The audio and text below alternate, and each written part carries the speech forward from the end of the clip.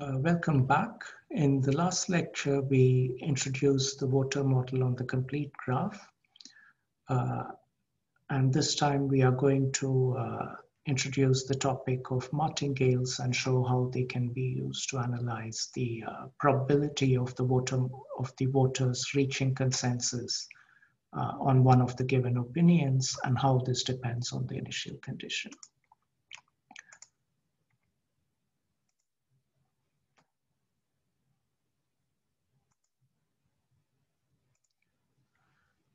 Okay, so just to recall quickly, last time we um, uh, described the time evolution of the voter model as a continuous time Markov chain uh, on the state space 0, 1 up to n.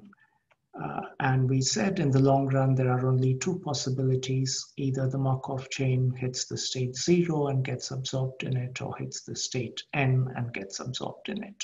All other states are transient. Okay, and we want to calculate the probability that we hit this absorbing state n before hitting the absorbing state zero. And we want to know how this probability depends on the initial condition k. So we start with k voters with opinion one and minus k with opinion zero. And we want to know how likely it is that we hit n before zero. Uh, okay, so uh, so that's how far we got. And we said we are going to answer this question using martingales. So let's now define martingales. Uh, so let xt uh, be, now it's time is going to be discrete to start with. Uh, xt is a discrete time process and it takes values in the real numbers. So for any given t, xt is going to be uh, take a value in the real numbers. So this is a bit more like the DeGroot model than the voter model. Uh, xt takes real values. Uh, and then uh, we, we say that such a stochastic process is a martingale if the following is true. So if I tell you everything that happened up to time t, including the value of xt, then the expected value of the state at time t plus 1 is equal to xt. Okay, so the expectation at time t plus 1 is the same as the value at time t. Uh, I'm being a bit vague here about what I mean by history up to time t. Uh, usually this just means all the values xs for s up to t. And if the process is Markovian, that's all the information you need. Uh, sometimes you need more. Uh, xt may be defined as a function of some other Markov process. So let me remind you uh, of uh, homework problem from problem sheet one, where the weather was one of three states and uh, then you defined another process, which is whether Alice carries an umbrella or not. Uh, and that was not Markovian. So in that example, the history up to time t might involve uh, knowing the weather for every day in the past and not just knowing whether Alice carried an umbrella or not. Uh, it, so it might depend a little bit on context. I'm going to leave this vague and it should be clear from context what we mean by history up to time t. Uh, but the claim is that if you're given uh, sufficiently detailed history up to this time, then the, this conditional expectation should be the same as the value at time t. Okay, and a process with this property is called a martingale. Uh, okay, and uh, this is the only thing we need, but um, uh, I should just tell you for completeness. So if this equal is replaced by greater or equal to for all possible times and all possible histories, then this is called a submartingale. And if it's replaced by a less than or equal to, it's called a supermartingale. And these processes are also uh, interesting and important in their own right. But for this course, we don't need them. We just need martingales.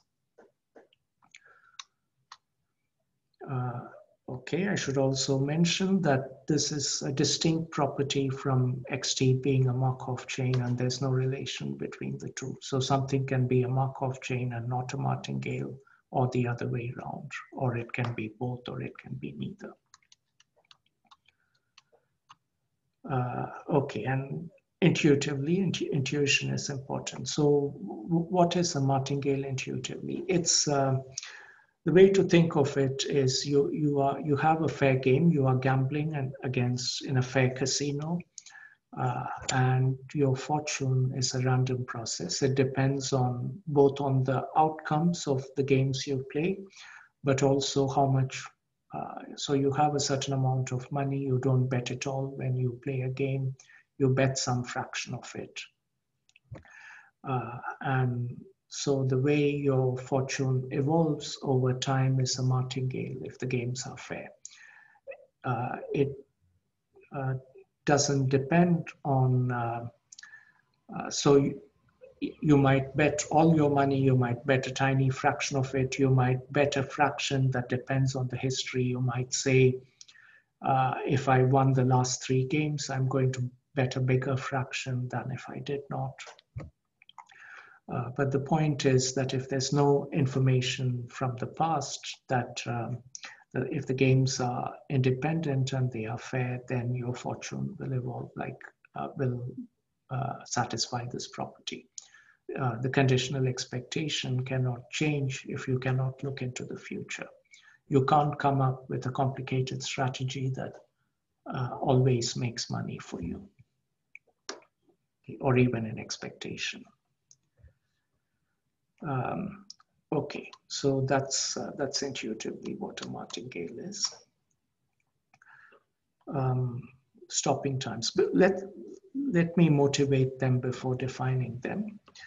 So we defined a martingale by saying that the conditional expectation one time step later is the same as the current value. And you can do this repeatedly. So the conditional expectation two time steps from now is the same as what it was one time step from now, and then you take conditional expectations. Again, by repeatedly using the tower rule, you can conclude uh, that uh, for a martingale, the expected fortune at any later time t is the same as your initial fortune. Okay, in expectation, it cannot change if you are playing a fair game at every time step. So this is true for any fixed t.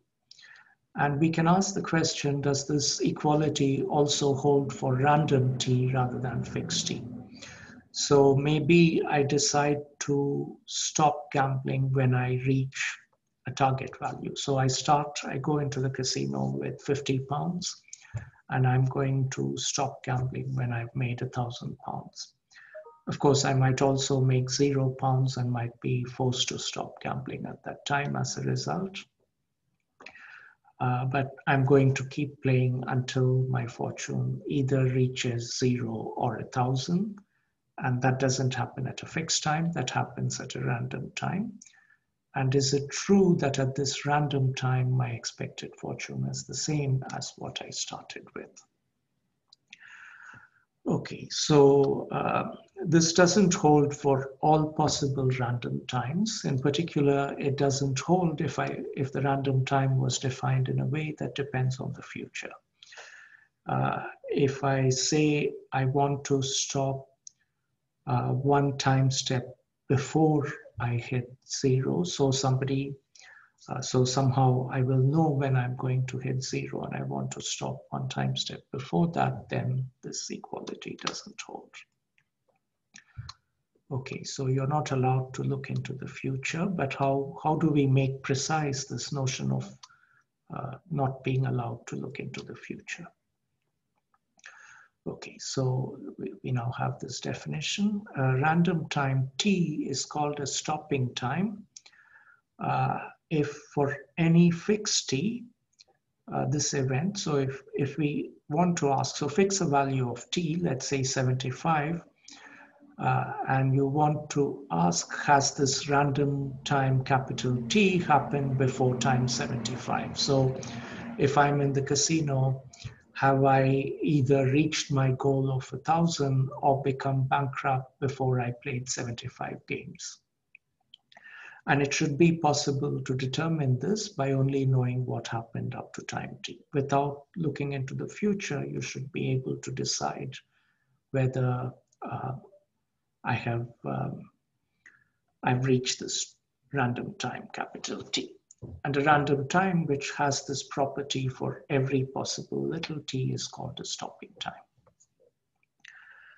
Um, another intuitive way you can think of this is in terms of giving directions to someone. Uh, so uh, if you want to give someone directions to your house, you, you might give directions of the form, uh, keep walking up uh, White Ladies Road, uh, up the hill and go past the Clifton Down Sainsbury's and turn left at the second turning after uh, the Sainsbury's. So that's an example of a way of giving directions that's easy to follow. Uh, here's another way of giving directions. Walk up White Ladies Road and take the fifth left turn before you reach uh, the downs. Now, this is not a very helpful way of giving directions because you don't know when you reach that point that you are five left turns away from reaching the downs. You have to go all the way up to the downs and backtrack. So that's a bad way of giving directions. And a stopping time is a good way of giving directions. You should be able to determine whether that's happened without going ahead into the future and seeing what happens. Okay, so that's a stopping time. Uh, okay, and um, yeah, so far I've just been talking about history up to time t somewhat loosely, and the reason I've chosen to be loose is that the way to be precise requires measure theory.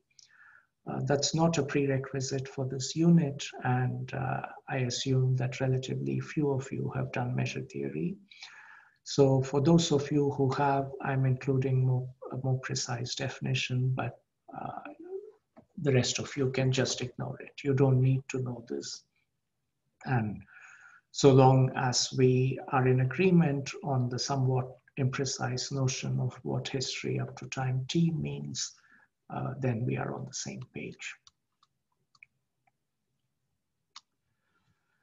Okay, so that's for discrete time. Uh, and conceptually, things are easier in discrete time. That's why I introduced them in that context. Uh, but our process, voter model, lives in continuous time. And so we need to extend the definition to continuous time martingales. And conceptually, there's no big leap here. It's very similar. So we have uh, xt, now time is continuous, it's indexed by the real numbers, say the positive reals, uh, is a stochastic process, and again, it should take values in the real numbers. Uh, and we say, uh, so for discrete time, we defined a martingale in ter terms of what happens in one time step, but there's uh, and in discrete time, that's the smallest possible time increment. In continuous time, there's no such thing as the smallest possible time increment.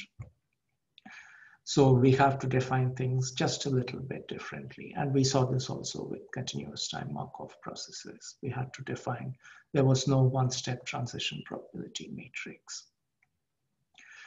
Okay, so here's the definition. XT is a martingale if it's conditional if the conditional expectation of xt given the history up to some time s, and s can be anything less than or equal to t. s doesn't have to be t minus 1 because there's nothing special about 1 here.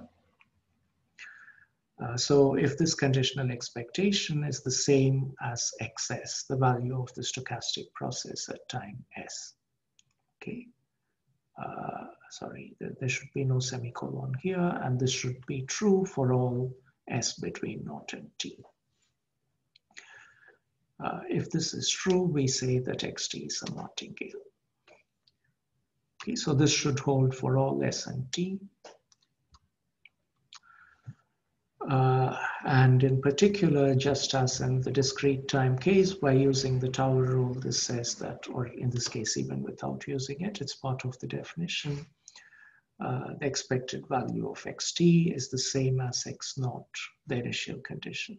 We assume the initial condition is deterministic, but if you want it to be random, you should put another expectation here. Okay, so this is true for all fixed t, and we want to know if the same is true for random times capital T. And we define stopping times the same way as in discrete time. Uh, the event that capital T is less than or equal to T should be, it should be possible to determine that just by looking at the history up to time T. And in this case, in continuous time, just to be precise, when I say history up to some time, I include that time. Okay, so it's up to and including that time. Okay, so that's stopping times. Okay, and this is our most important result. This is the one we are going to use a lot, and this is the main thing you need to know. So you need to understand the definition of a martingale you need to be able to show that a given process is a martingale, and then uh, you have to be able to apply the optional stopping theorem. And this is as much of martingales as we need in this unit. So here's the theorem. So suppose xt is a martingale and we assume a bit more, it's a bounded martingale, meaning that its values are limited to some interval a, b. It can't take very big values or very big negative values. So xt is a bounded martingale, either in discrete or continuous time. And capital T is a stopping time, a random time, and it has to be finite. Okay, so uh, you have to stop. The process cannot run forever. So with probability one, the process stops. Uh, if this is true, uh, then uh, the expected value of x at this random time is the same as the initial value. So this was the question that motivated us to define stopping times, and indeed it's true, but there are some slight technical conditions that are needed for it to be true. So take a moment to make sure you understand the statement of the theorem and all the terms that have gone into, uh, into stating it understand the definitions of all the terms. So x sub t is a stochastic process. It's a martingale. Capital T is a stopping time. Uh, and uh, so if we have a martingale and a stopping time, and there are some additional technical conditions, such as that the martingale should be bounded and the stopping time should be finite with probability one. If these conditions are satisfied, then uh, the expectation of the martingale stopped at the time t, so look, looked at at the time random time t, uh, the expected value of the stop martingale is the same as the initial value. Okay, so that's the theorem. We won't prove this. Uh, we are just going to use it. If you're interested in the proofs, there's a very nice course on martingales uh, taught by my colleague Márton Balázs, and I recommend that highly. Uh, just a remark in passing, we've stated certain assumptions. You may have, those of you who have done the martingale course, or maybe even in probability two, saw the optional stopping theorem with different assumptions. In fact, boundedness is a very strong assumption and we don't need it. Uh, you can restate the theorem with weaker assumptions, but then weaker conditions on xt mean that you need somewhat stronger conditions on the stopping time t. We only assume that it's finite, that eventually you stop. Whereas if you don't assume much about xt, then you have to assume more about t, maybe that it's finite mean or something about how quickly x can grow by the before the stopping time. Okay, and those conditions can be more complicated to check, which is why I haven't bothered with stating this theorem in the most general form possible. I've stated it in a somewhat restricted form, but that's enough for this course because all our um, state, uh, processes will be finite state and hence they will be bounded uh, and um, there will be absorbing states which are reachable from everywhere else. So the time to absorption will be finite with probability one because it's built on top of a finite state Markov chain.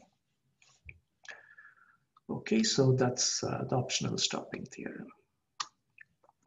So uh, with all those preliminaries, let's get back to the voter model.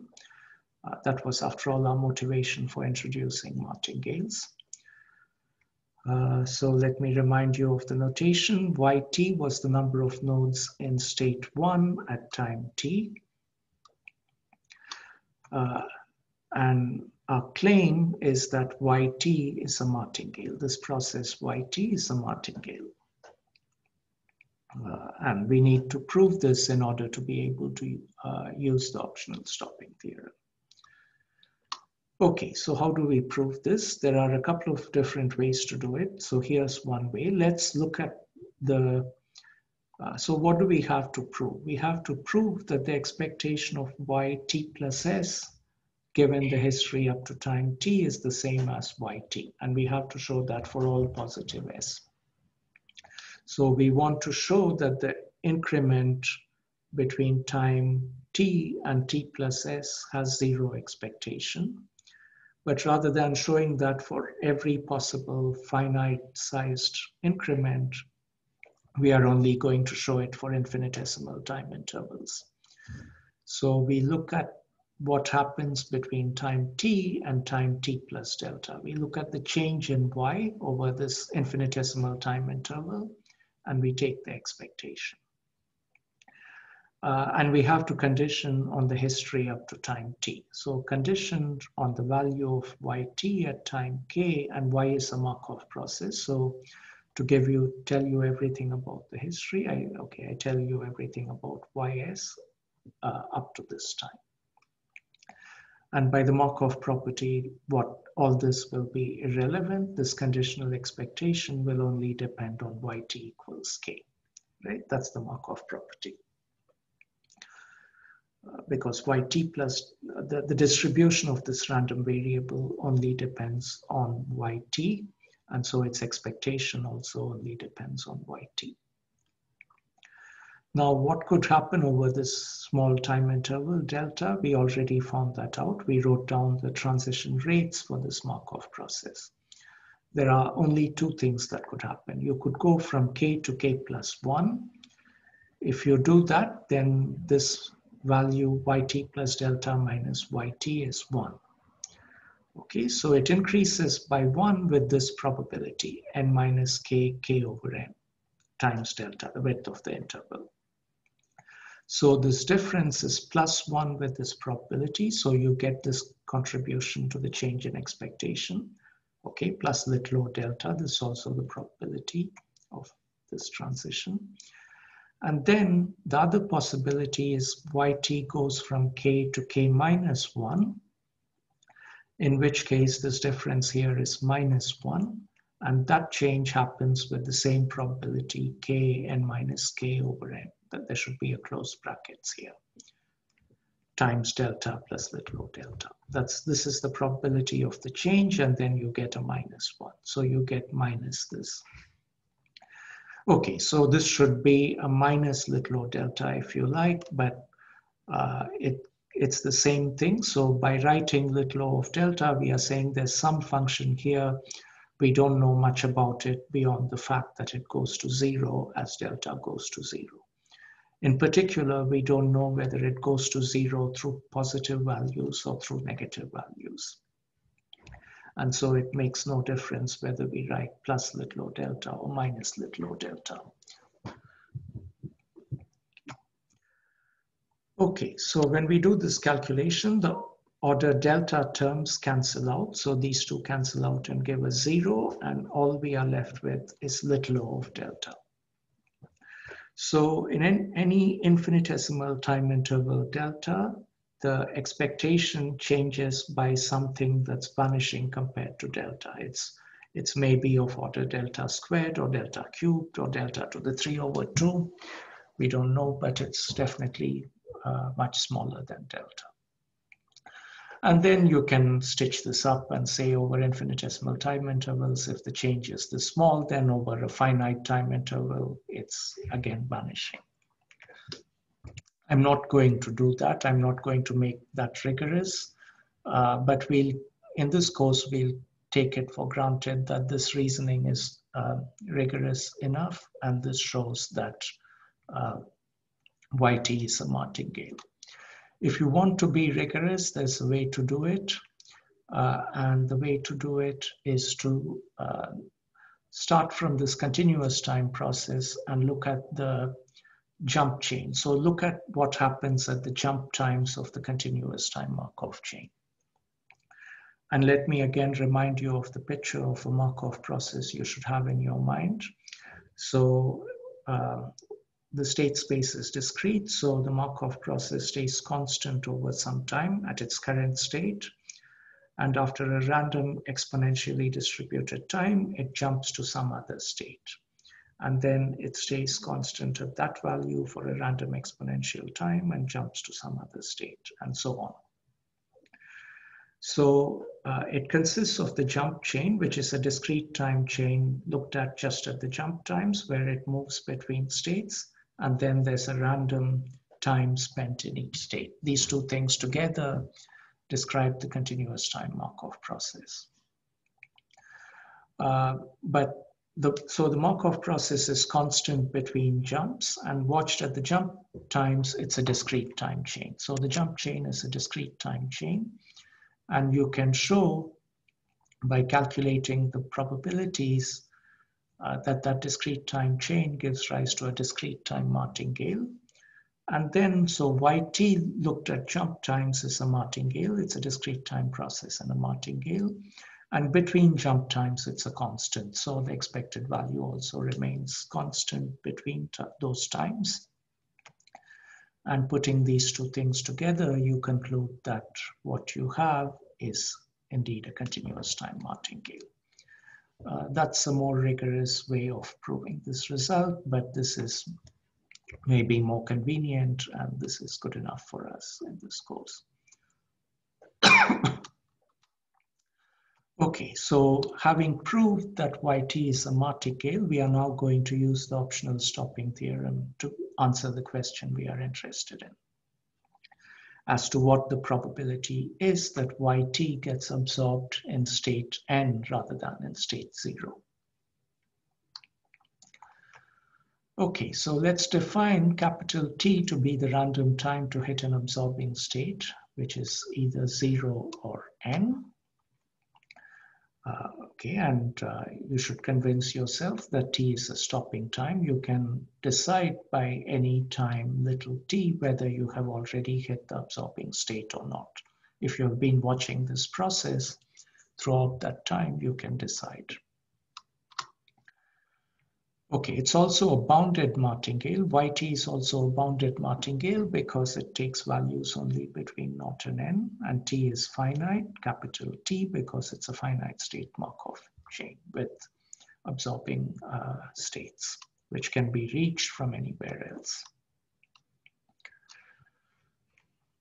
Uh, okay, so so we have checked, and it is important to check. So we've checked that the conditions in the statement of this theorem are satisfied. It's a bounded martingale. The stopping time is finite almost surely. And since the conditions in the theorem are satisfied, its conclusion holds, and its conclusion states that the expected value of the martingale stopped at time t is the same as its initial condition y naught. Okay, but what is the expected value at the stopping time? So at the stopping time, there are only two possible values for yt. It's either n or it's zero. So it's n with the unknown probability that it's n, and it's zero with the unknown probability that it's zero. So if you calculate the expectation, you get n times the probability that it hits the state. It gets absorbed in the state n rather than in the state zero. Okay, so if your initial condition is k, then this whole thing should be k, which means the probability of hitting the state n of being absorbed in the state n should be k over n. And that's, that's our result. So we have calculated the probability uh, that the voter model reaches consensus with everyone having opinion one. Given that initially there were k people having opinion one, the probability that everybody ends up, all n people end up having opinion one is k over n.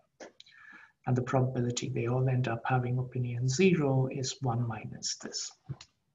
Okay, so we have determined uh, what happens to the Markov chain in the long run. It hits one of these two absorbing states and we have calculated the probability that it gets absorbed in each of these particular states as a function of the initial condition.